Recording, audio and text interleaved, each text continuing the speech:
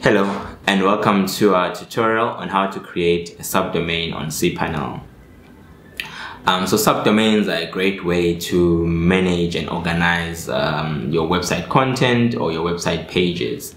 In an instance where one of your servers has grown and has got too much content to all put on the main page, it's then recommended that you make use of a subdomain and organize that content on a different um, page altogether, but it was still within your main domains page. Uh, so today we'll take you through um, on a step-by-step -step on how to do that.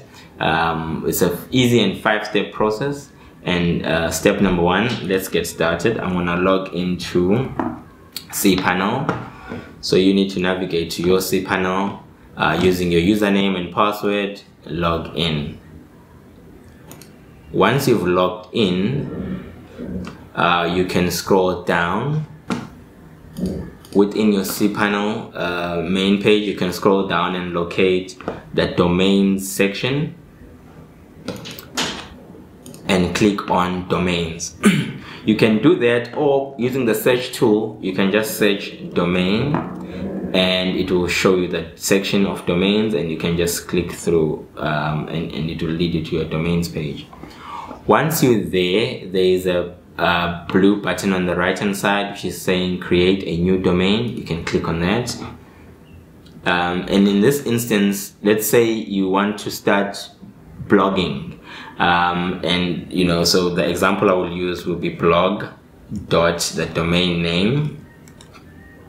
Um, let me just spell that correctly.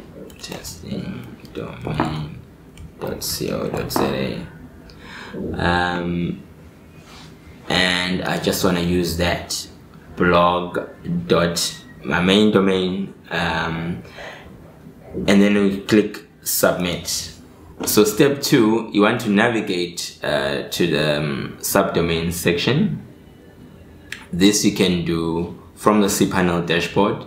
You're gonna scroll down and locate the domain section and click on domains or you can easily just search the word domain from the search bar and this will also get you to the same section of domains. Once in this section of domains um, your next step which will be step three is to then create the sub the desired subdomain. Um, you can do this by clicking the blue button on the right hand side and it will prompt you to enter the name of the desired domain. And in our instance we are saying this we're gonna call this blog. So it's gonna be blog dot um, our main domain dot co dot za.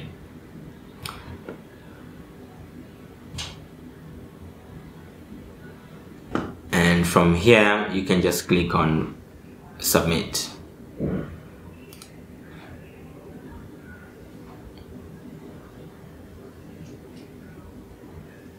step four uh, which is a document root field you know this will be automatically populated based on the subdomain name that you've entered. Um, if you want to customize uh, the folder where the subdomain file is stored this is where you can modify within this field. Otherwise you can just leave it as is. And as you can see from my uh, list of domains uh, here's the newly created um, subdomain which is blog.testingdomain.co.za and that's my main domain. That's my other subdomain which I created a while ago.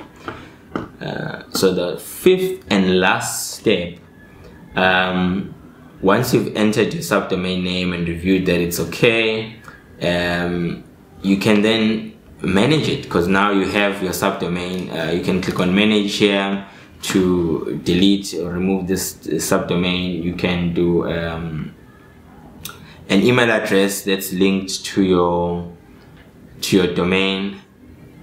So now that you know how to create your subdomain and where to manage the subdomain um, you know that's it uh, for for for today's tutorial on subdomains using cPanel.